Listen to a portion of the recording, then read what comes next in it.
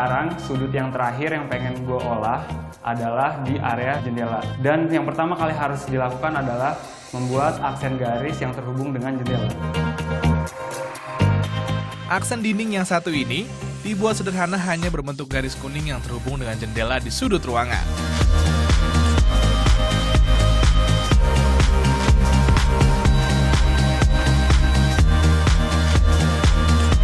Dari bentuk dan pemilihan warna yang ada, aksen ini dimaksudkan untuk menggambarkan sebuah logo dari acara TV favorit kliennya loh ternyata.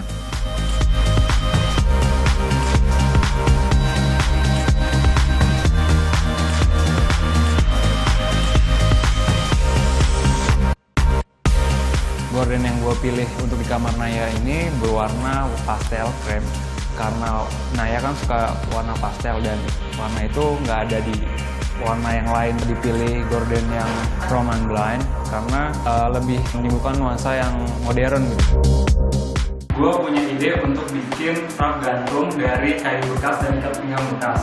Tapi sebelumnya gue butuh bantuan teman kita. Untuk memasang sebuah floating shelves atau rak gantung, ternyata dapat kita buat sendiri dengan memanfaatkan barang bekas yang ada seperti kayu dan ikat pinggang bekas. Dan caranya sangatlah mudah.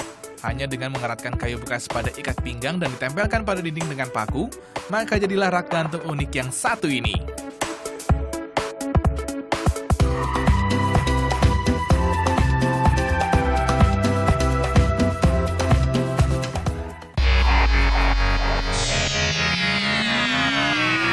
Supaya lebih santai, gue mau menambahin beberapa bantal di karpet ini.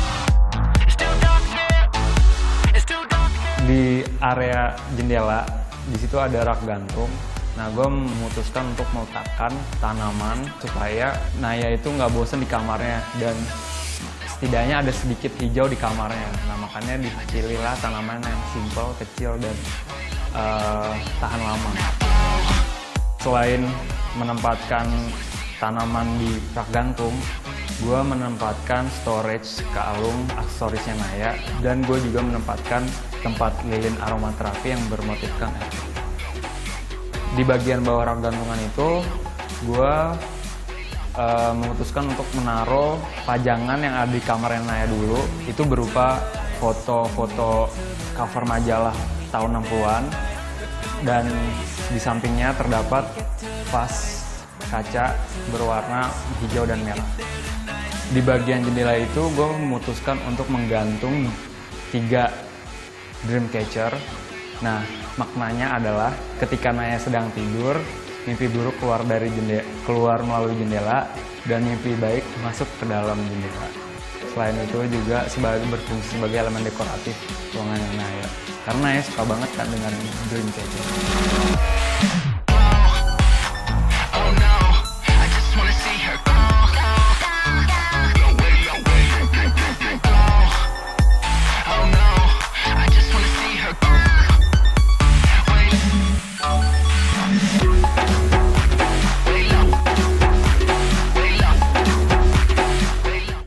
juga nih kita makeover kamar dengan tema bohemian style. Penasaran kan gimana reaksi Naya pas ngeliat kamar barunya setelah di makeover?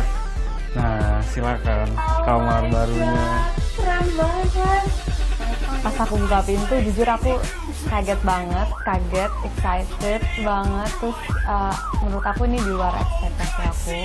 Sampai aku speechless tadi kalau di depan Mas Reski. Jadi yang di sudut ini, sudut ruang tidur, kita naruh quotes-quotes tentang uh, traveling dan ditaruh di atas tempat tidur supaya bisa jadi aksen gitu. Terus untuk di area dinding tempat tidur ini uh, saya taruh foto Naya dan foto pemandangan karena hobi Naya suka traveling dan suka natur lebih natural dan ya ini buat kata Naya banget lah. Nah, nah satu lagi nih area yang diolah yang kedua yaitu area rak gantung. Nah kita bikin rak gantung ini dari uh, ikat pinggang bekas sama kayu bekas. Nah, Naya suka Dreamcatcher kan ya? Iya suka, Suka banget ya? Suka banget. Nah, ini sengaja kita gantungin Dreamcatcher supaya waktu pas Naya tidur, mimpi yang buruk keluar lewat jendela dan mimpi yang baik masuk ke kamarnya Naya ya. Ya, sabi kan. Nah, untuk bagian yang ini uh, didesain khusus untuk area reading cornernya Naya. Nah, jadi Naya bisa duduk di sini dan bisa langsung ambil bukunya di sini. Nah, sama satu lagi bisa langsung main ukulele ya. Ini ukulele dari yang kamar kemarin kan ya. Nah, untuk background reading cornernya ini sengaja dipilih panah karena pengen menimbulkan kesan suburban village sama lebih natural gitu. Jadi kesannya lebih plastik gitu. Nah, di area cornernya ini dipasang khusus lampu gantung tujuannya untuk uh, ada sesuatu yang hanging dari atas. Jadi untuk penerangan Naya waktu pas lagi baca gitu ya. Aksen ini sengaja ditempel di dinding untuk memisahkan antara reading corner dengan storage baju. Dan ini polanya bermotifkan etnik sesuai dengan kesukaan Naya kan ya? Nah satu hal lagi Naya yang kita bawa barangnya Naya dari kamar lama ke kamar baru yaitu kumpulan foto-foto Naya ini nih yang katanya sih bersejarah ya. Iya, bersejarah banget nih. Nah jadi kita sengaja taruh di sini supaya kenangan lama nggak hilang. Nah itu Baby, I'm playing on you tonight. Hunt you down, eat you alive. Just like animals, animals, like animals most. And maybe you think that you can hide. I can smell yourself from miles. Mas pintunya Oh. keren banget. Nah, ini nih pintunya itu inspirasinya sih dari uh, pola-pola fabrik yang Naya suka berpola segitiga di pintu dan warnanya saling bertabrakan. Warna pastel. Nah, warna pastel sih susah. Iya, betul. Nah, Mas Reski, thank you banget oke ya. sama-sama Aku semoga seneng sama kamar. kamarnya dan lebih betah di kamar. Ya. Thank you ya, Mas. Yuk, sama-sama. Terima kasih tim desain telah memakeover kamar baru aku.